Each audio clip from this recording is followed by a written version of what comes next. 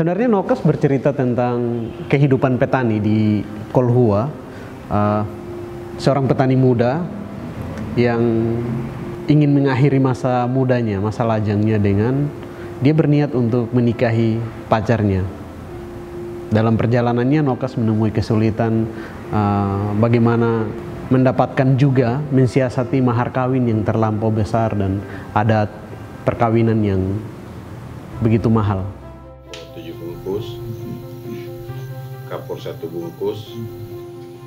Terus ada emas lebih dari 2 gram. Nah itu yang di dalam itu toko mama itu kan ada belum sebut nilainya uang. Itu ada berapa? Persoalan mahar kawin itu sebenarnya persoalan yang dihadapi oleh semua anak muda di NTT karena nyaris semua budaya pernikahan di NTT itu mengharuskan adanya mahar kawin dan uh, banyak juga orang yang uh, kemudian menghadapi itu sebagai sebuah persoalan. Entah itu batal nikah yang turut lahir dari uh, budaya perkawinan yang mahal itu seperti itu. Dan bagi saya itu keresahan bersama bagi saya itu kegelisahan bersama yang uh, selama ini tidak banyak orang bicarakan di ruang-ruang publik. Dan film ini hanya ingin mengantar bagaimana mahar kawin bisa dibicarakan di ruang-ruang publik, bagaimana kita bisa mengkritisi budaya.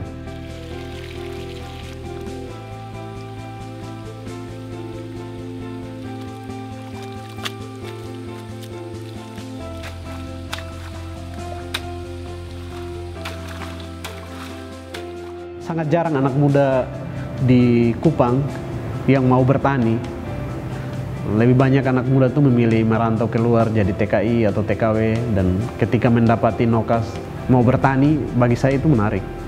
Saya kemudian beralih dari film yang awalnya didesain untuk fokus pada perjuangan petani menolak bendungan kemudian perlahan uh, menemukan subjek yang tepat. Bagi saya nokas subjek yang tepat.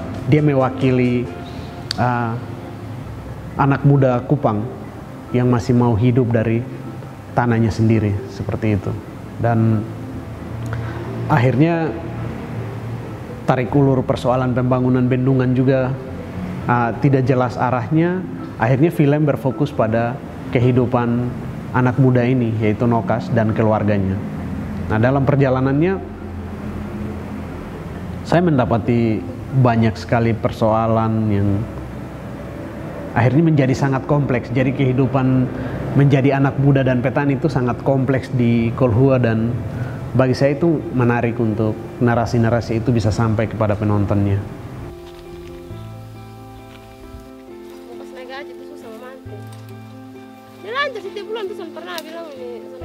Pokoknya mungkin ada yang lain dia pasti telat bakal betul. Dia pasti dia harus kerja berapa kali di situ dia, tanggal kalau masuk tuh pasti dia kasih dia masuk gaji 250 dia naik tiga dia naik naik langsung 350 dia tanya bapak kenapa ya penggaji bulan lalu banyak begini kok ini bulan dia kurang. Sebenarnya saya tidak lahir dari ruang formal pendidikan film dan tidak pernah berpikir mau jadi sutradara film dokumenter. Jadi ketika tahun 2010 saya mulai membuat diskusi film di kampus-kampus. Niatnya hanya untuk bagaimana uh, isu-isu uh, yang dibawa oleh film itu didiskusikan. Begitu. Tapi uh, di suatu kesempatan pada tahun 2012 saya mengikuti uh, sebuah pelatihan pembuatan film dokumenter untuk pemula yang diadakan oleh Indox dari situlah saya belajar membuat film. Sebenarnya kalau motivasi untuk membuat film sendiri sih, selama putar-putar film kita punya keinginan untuk uh, bagaimana kalau kita bikin film dengan sudut pandang kita sendiri, dengan perspektif kita sendiri, dengan ide dan gagasan yang kita gali sendiri seperti itu. Itu motivasi awalnya dan sampai hari ini pun saya masih termotivasi untuk film-film yang dilahirkan, film-film yang menjadi karya kami harus uh, benar-benar lahir dari kegelisahan, benar-benar lahir dari keresahan kami tentang situasi-situasi yang berkembang dan itu yang menjadi latar dan motivasi sampai saat ini. Kecil itu nanti juga potong karena mungkin potong putuskan sendiri bisa kosong dua.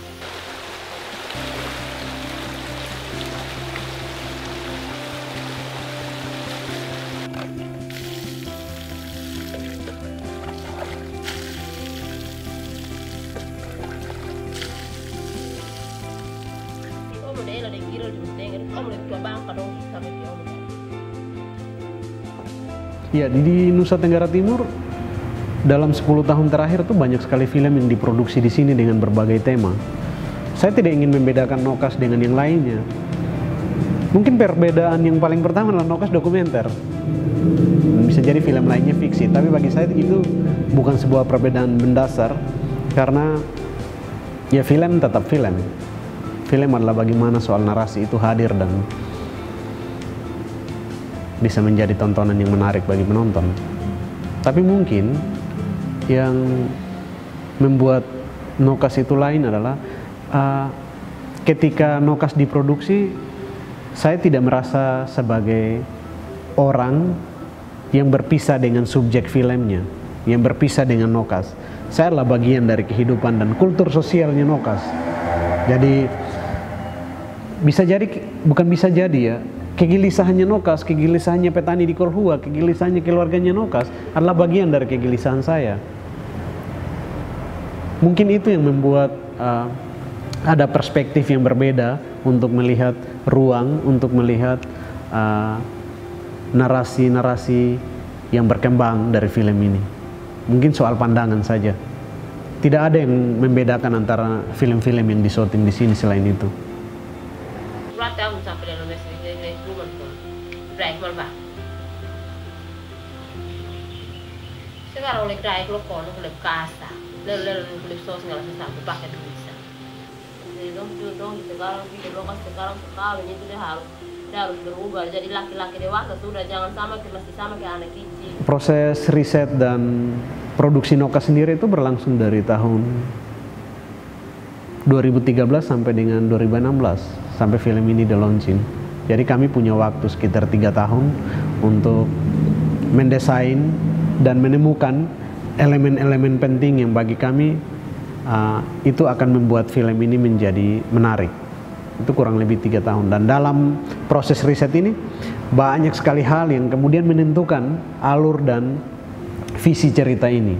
Nokas dan keluarganya tuh punya uh, kompleksitas persoalan yang menurut saya lengkap sebagai petani kayak gitu. Dan itu yang kami rasakan di sini. Akhirnya kami berfokus pada itu dan proses riset kami, riset kami pun akhirnya menentukan untuk berfokus pada budaya pernikahan.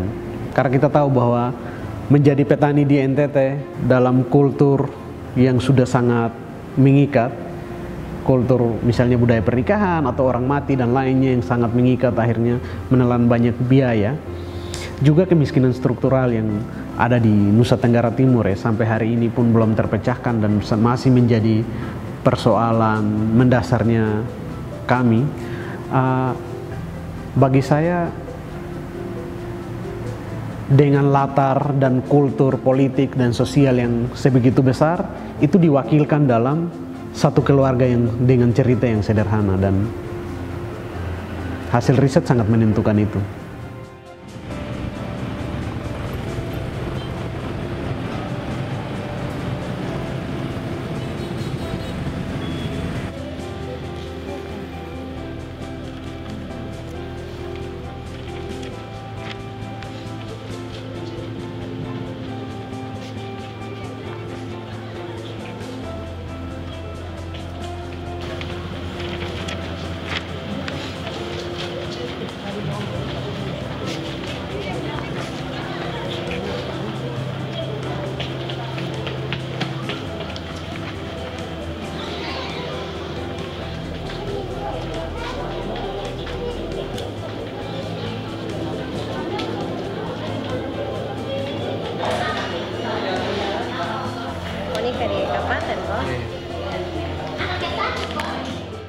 Membuat film dokumenter itu adalah pilihan yang mungkin menjadi keharusan ketika uh, banyak sekali cerita, banyak sekali narasi yang tenggelam di media arus utama, di media mainstream. Bagi saya, memilih dokumenter adalah jalan yang harusnya kami lakukan agar narasi-narasi, cerita-cerita yang ada itu bisa sampai di orang lain. Kita sudah datang sendiri nih Om jadi kita ada mau kasih tau Om kok Ya, satu kali deh, satu kali deh. Satu kali deh. Ada? Ya, pintar. Sudah sini. Ah!